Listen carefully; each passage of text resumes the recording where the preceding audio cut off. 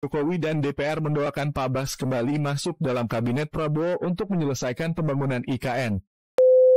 Partai politik dalam acara kongres, rakernas, itu kesempatan untuk memberikan kader-kadernya mengejawantahkan dirinya, ya, mengekspresikan dirinya dipilih. Saya mau ketemu sama Anda. Saya tidak takut ke Anda ini presiden, bukan presiden, tukang sapu. Ya bagi gue dia the real pemimpin sih. Kita nggak bisa pungkiri lah kinerja Pak Jokowi itu emang faktanya bagus dan udah diakui oleh pemimpin-pemimpin dunia. Presiden Republik Indonesia. Sekian dan saya. Karena mungkin udah nggak ada yang bisa dipercaya lagi untuk menerusin program-programnya Pak Jokowi. Jokowi itu PKI, orang tuanya Cino. Sampai Pak Jokowi pun kesian loh. Ya kesederhanaan itu yaitu Presiden Joko Widodo. Halo teman-teman perspektifku. Aduh, apa kabar nih teman-teman semuanya? Semoga selalu diberikan kesehatan dan semoga selalu baik-baik saja ya. Seperti biasanya kalau sama aku di sini aku mau mengajak kalian untuk mencari info-info menarik apa hari ini yang cocok banget buat dikulik. Langsung aja, aku tidak mau terlalu banyak babi bu nih di depan. Jadi langsung aja kita tonton videonya. Berikut ini. Oh, ini waktu Pak Jokowi sebelum menjadi Presiden RI ya. Nah, dahulu Jokowi duduk paling belakang, sekarang paling depan. Siapa sangka dulu jadi peserta rapat, sekarang jadi pemimpin rapat di forum yang sama. Hmm, ini sepertinya waktu menjadi wali kota Solo waktu itu ya. Di awal-awal karirnya Pak Jokowi di politik Indonesia. Nah, Pak SBY. Peran sentral Menteri PUPR demi kesuksesan IKN. Jokowi doakan Pak Bas dipilih kembali jadi Menteri Prabowo. Presiden Jokowi puji kinerja Basuki sebagai Menteri terbaik di era Kabinet Indonesia Maju. Hingga saat ini, Pak Bas dipercaya memegang tiga jabatan. Pertama Menteri PUPR, kedua pelaksana tugas Ketua Otoritas IKN dan Komite, menunda pelaksanaan program hingga 2027. Rimuliani juga terang-terangan memuji kinerja Basuki yang selalu memikirkan kepentingan rakyat dalam hal pemerataan pembangunan. Karena dianggap memiliki kinerja mentereng, Jokowi dan DPR mendoakan Pak Bas kembali masuk dalam kabinet Prabowo untuk menyelesaikan pembangunan IKN. Aku setuju dengan statement tadi soal kinerjanya Pak Bas yang sangat luar biasa, makanya sekarang dipercaya untuk memegang IKN ya. Nah memang semenjak PUPR itu dipegang Pak Bas itu banyak sekali infrastruktur yang menjadi lebih baru lagi, lebih baik lagi dari sebelumnya. Dan itu pun juga diakui oleh masyarakat di seluruh Indonesia, tidak hanya di satu wilayah aja. Aku juga berharap Pak Bas akan melaju, akan melanjutkan kinerjanya juga di kabinetnya Pak Prabowo nanti alias dipilih menjadi menterinya Pak Prabowo nanti. Ngerem total. Masalah gaya hidup. Jangan gagah-gagahan karena merasa punya mobil bagus atau motor gede yang bagus. Hati-hati, hati-hati. Saya ingatkan hati-hati. Masanya yang lalu-lalu sudah usai. Teknologi sekarang ini menyebabkan interaksi sosial berubah total. Sosial media bisa mengabarkan bukan hanya TV, bukan hanya media cetak, media online. Pribadi-pribadi kita sekarang bisa menjadi surat kabar bisa menjadi media yang setiap saat bisa memunculkan perilaku-perilaku kita sehari-hari kayak apa. Meskipun sembunyi-sembunyi. Saya terlalu banyak, saya terlalu banyak mendapatkan laporan. Sehingga kembali lagi, gaya hidup, urusan kecil-kecil, tetapi itu bisa mengganggu kepercayaan terhadap Polri. Keberhasilan seorang pemimpin itu dinilai ketika mereka bisa menciptakan orang penggantinya ya secara transparan dan demokratis. Itu kesuksesan pemimpin. Hmm. Anda lihat Pak Harto pada zamannya wah hebat, tapi at the end of the day karena dia tidak bisa menyiapkan penggantinya secara demokratis dan transparan, ambruk. Banyaklah, saya berikan, nggak usah contohin satu-satu.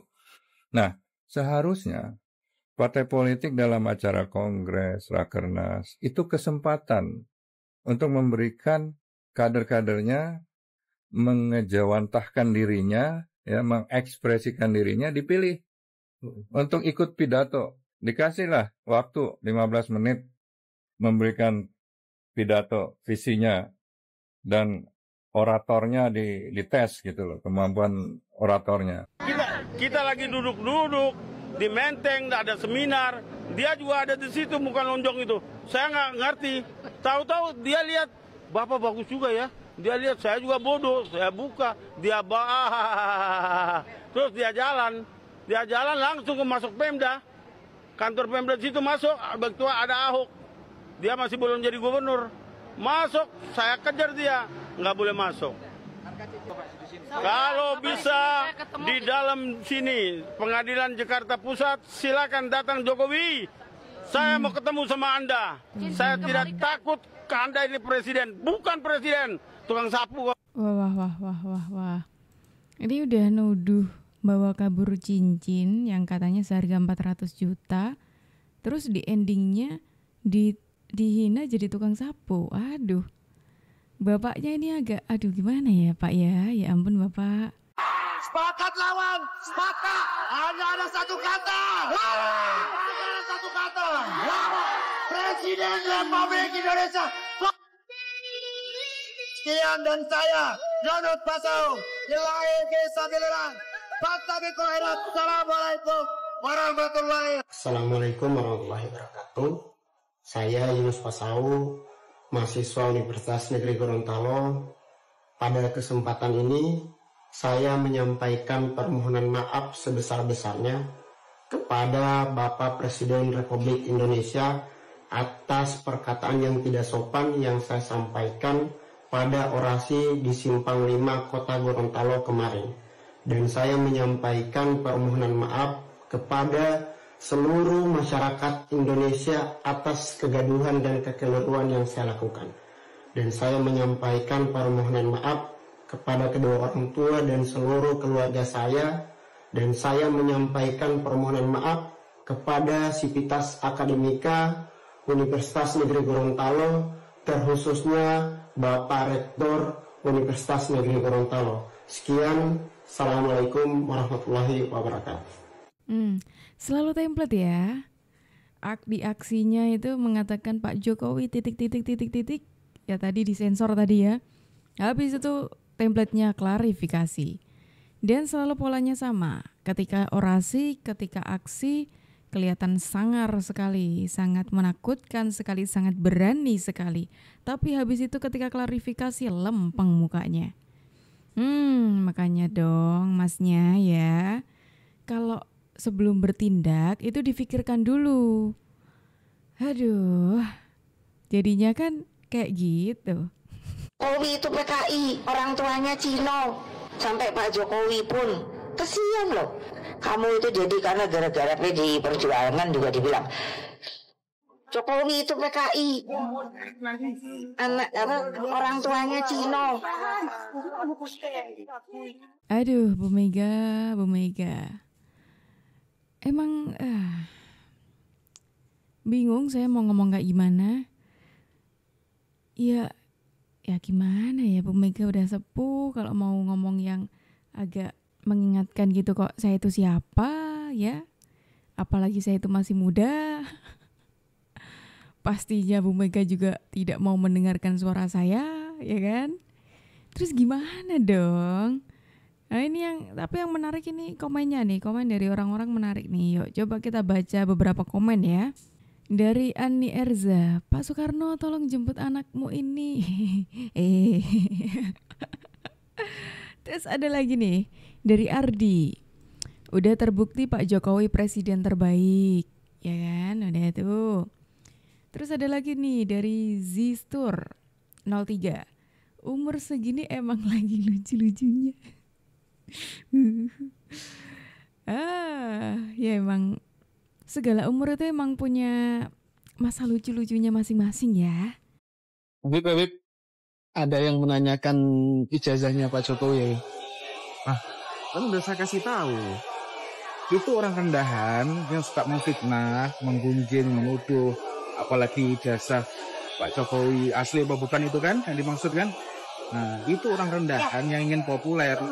Jadi orang sekelas Pak Jokowi, ngapain menanggapi nggak begitu? Biar aja, para cecung itu biar aja, oke? Okay? Ah, ini Habib Hussein Bagil ya. Yang memang sebelumnya ini Pak Jokowi pernah dirumorkan bahwa ijazahnya itu palsu, ya kan? Jawaban cerdas dari Habib dan saya setuju. Kalau Pak Jokowi ini kan seorang presiden. Tugasnya banyak sekali, tidak hanya satu dua dan itu bukan tugas yang sepele juga untuk Pak Jokowi. Jadi untuk Pak Jokowi untuk menanggapi hal-hal yang menanyakan ijazahnya kayak gitu, ini tuh hal yang sepele banget gitu loh. Dan ngapain gitu loh kalau dipikir-pikir ya, ngapain Pak Jokowi sibuk-sibuk mengurusi hal yang tidak berguna seperti ini ketika dia saja, beliau saja itu sudah punya tugas yang berat untuk dipikul. Pas Bu Sri Mulyani bilang kalau Pak Jokowi itu pakai uang operasional presiden untuk uh, bansos jujur gue nggak kaget. Gue pernah lihat satu videonya uh, Pak Jokowi. Dia kayak kunjungan ke satu kota dia nginep di hotel yang sorry ya biasa aja gitu yang jelek. Menurut gue nggak layak ditinggalin oleh seorang presiden. Terus lo tahu juga kan dia kalau makan makannya yang kayak bakso bukan makan yang fancy fancy layaknya untuk presiden gitu. Dia lebih baik kayak beli bakso yang harganya cuma puluhan ribu terus beli ratusan dibagi-bagiin keluarga makanya gue nggak kaget apa yang dibilang sama Bu Sri Mulyani gitu. Terus atau lagi setiap anggaran dia tuh nggak pernah pakai anggarannya tuh 100% kayak cuma 80 50 padahal dia punya hak gitu untuk ngabisin itu semua anggaran tapi dia lebih milih untuk nggak gue cuma pakai 80% sisanya ya udah buat yang lain. Ya bagi gue dia the real pemimpin sih. Persetan dengan dinasti politik ya. Karena mungkin ada alasan kenapa dia tuh nempatin orang-orang yang dipercaya di pemerintahan karena lo tahu sendiri kan, yang namanya orang udah dapat jabatan itu ambisinya tuh udah beda-beda. Ya, nah mungkin dia pakai orang yang dipercaya gitu, yang punya satu visi, satu misi sama dia gitu, pengen besarin Indonesia, pengen majuin Indonesia. Nah ini jawaban nih buat teman-teman ya yang suka banget yang katanya Pak Jokowi itu menghambur-hamburkan uang negara ya. Ini terjawab waktu itu Bu Sri Mulyani itu membocorkan ini ketika sengketa pilpres waktu itu ya. Ya ini karena empat menteri diundang, salah satunya Bu Sri Mulyani, di mana Bu Sri Mulyani ditanya soal anggaran, dan di situlah Bu Sri Mulyani membocorkan soal ini, di mana Pak Jokowi itu sering menggunakan dana pribadi untuk kepentingan negara. Wah ini memang uh, luar biasa sekali. Mau bilang terima kasih Bapak sudah menjadi Bapak Presiden yang begitu baik buat bangsa Indonesia. Saya sangat kagum dan sangat bangga. Kalau bisa Pak, Bapak bisa menjadi presiden untuk ketiga periodenya. Terima kasih. I, gue coba kasih sudut pandang gue. Yang pertama, Prabowo ikhlas menjadi menterinya Pak Jokowi. Itu sesuatu yang sangat nggak mudah loh. Gue jujur kaget. Wah kok dia mau ya? Even dunia pun juga kaget. Kok mau maunya kalah terus jadi pembantunya yang menang? Lu yang dulunya diorbitin sampai jadi rival dan kalah lagi terus akhirnya mau menjadi pembantu yang menang. Kalau lu nggak punya sifat yang benar-benar ikhlas dan ingin mengabdi untuk negara, udah pasti nggak akan diambil sih. Karena ini menurut gue ya, uang itu udah bukan suatu isu lagi sih untuk sekelas Prabowo. Yang kedua, fenomena Gibran. Jujur, gue emang kecewa dengan politik dinasti. Tapi coba deh dipikirin lagi. Gue yakin Gibran pun juga nolak pasti jadi wapres. Men, lu bakal dibully di Indonesia. Dia udah tahu itu pasti. Dia mungkin juga udah mohon-mohon nolak juga ke bapaknya. Coba deh, sekelas Gibran, ngapain jadi wapres? Ngapain masuk politik? Pusing coy uang udah bukan isu lagi sih buat dia. Gue yakin Pak Jokowi sangat terpaksa memajukan anaknya Gibran. Karena mungkin udah nggak ada yang bisa dipercaya lagi untuk menerusin program-programnya Pak Jokowi. Kita nggak bisa pungkiri lah kinerja Pak Jokowi itu emang faktanya bagus dan udah diakui oleh pemimpin-pemimpin dunia. Kita butuh presiden yang bernyali. Kita mau keluar dari status negara berkembang menjadi negara maju. Kita butuh yang berani untuk hilirisasi. Karena apa? Negara-negara maju itu nggak seneng kalau ada negara berkembang yang jadi maju. Makanya kita butuh presiden yang bernyali, yang nggak bisa disetir siapa pun. Wah ini bener nih apa yang dikatakan masnya. Tapi terlepas dari entah itu Pak Jokowi terpaksa memajukan Mas Gibran atau tidak ya.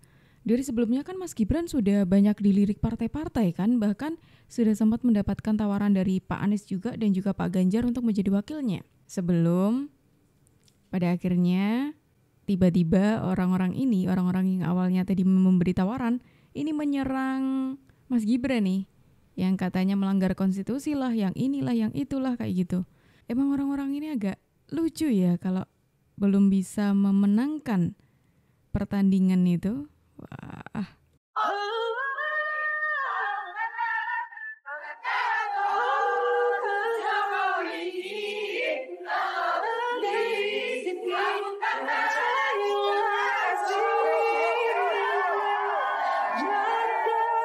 Saya kira kalau presiden ya, saya maaf ya, kalau saya boleh, istri saya ini kan lahir dari Letnan 2 di Kopassus. Ya.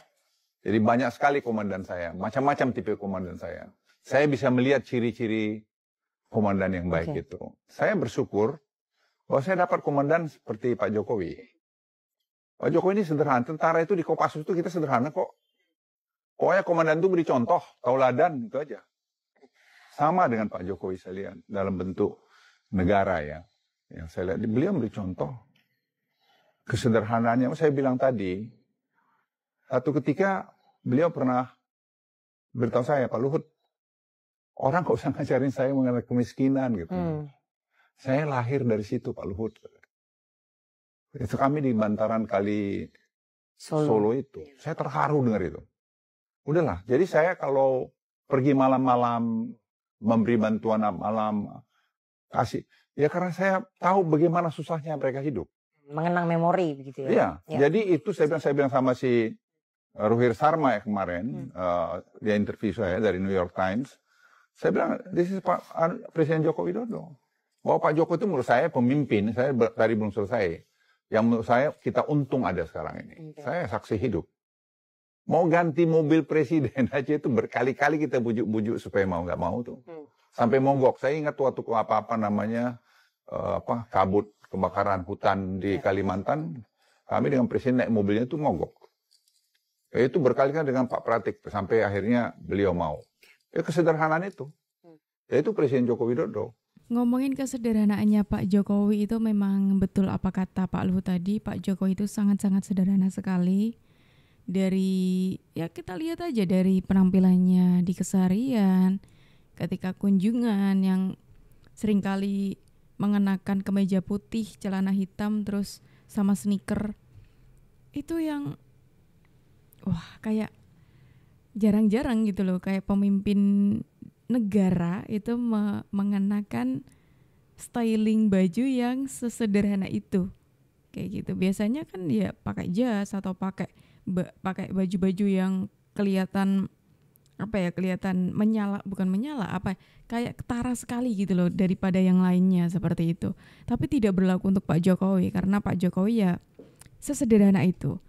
Dan tidak hanya untuk pakaian saja bahkan yang apa ya stafnya kepresidenan kalau nggak salah dulu pernah mengatakan Pak Jokowi itu makanan kesehariannya itu ya sangat sederhana juga justru bukan makanan-makanan yang ada di restoran mewah seperti steak ataupun apa yang menjadi requestnya Pak Jokowi seperti itu aduh saya itu selalu merinding kalau mendengarkan cerita dari Pak Jokowi ataupun cerita kesaksian dari stafnya ataupun orang-orang di sekelilingnya Pak Jokowi mengenai Pak Jokowi Nah, teman-teman, sepertinya kita akhiri dulu video kita hari ini sampai di sini. Terima kasih untuk teman-teman perspektifku yang sudah menemani aku dari awal sampai akhir. Aku pamit undur diri dulu. Sampai jumpa dan terima kasih.